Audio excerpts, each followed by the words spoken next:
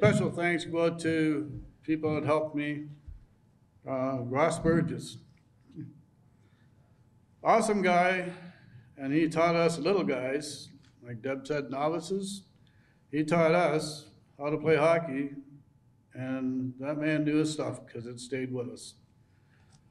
Like I said, awesome guy. Now, this is an awesome lady that taught me how to skate.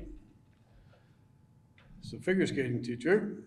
She helped me learn to do my edges, my balance, and all the way up to it was time to dance on the ice with the girls.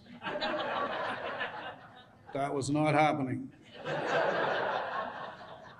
I was only 11.